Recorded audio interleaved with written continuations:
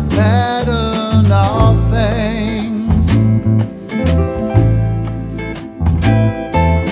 Simple reactions that pass people by on the wind.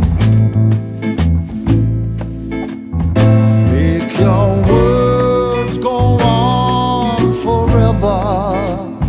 Let your